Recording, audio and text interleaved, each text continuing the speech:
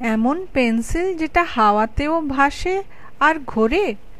বানাতে চাও? একটা পুরনো রাবারের চপ্পলে ছুরি দিয়ে তিনটে খাঁজ কাটো। একটা খাঁজে একটা পয়সা গুঁজে দাও।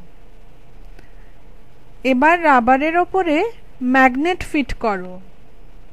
পেন্সিলের সামনের ম্যাগনেট রাবারের সামনের ম্যাগনেটদের যেন অ্যাট্রাক্ট করে।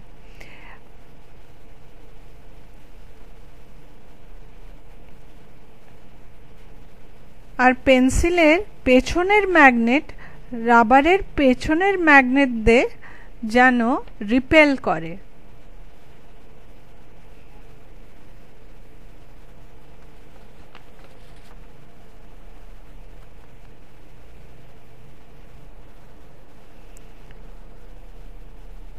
এবার রাবারের ম্যাগনেট দিয়ে একটু অ্যাডজাস্ট করো।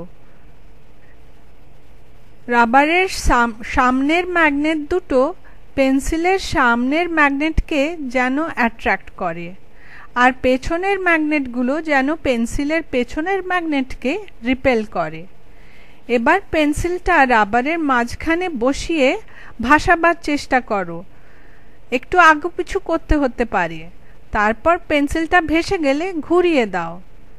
এবার একটা কাগজ কাটো লম্বা সরু করে। তার উপরে চিটিয়ে দাও পেন্সিলের পেছনে। পাক দিয়ে দাও একটা স্পাইরাল তৈরি করো। তৈরি হয়ে গেলে পেন্সিলটা আবার ভাসিয়ে দাও আর ঘুরিয়ে দাও। স্পাইরেলের জন্য পেন্সিলটা স্পিন করছে যে খুব ভালো বোঝা যাবে।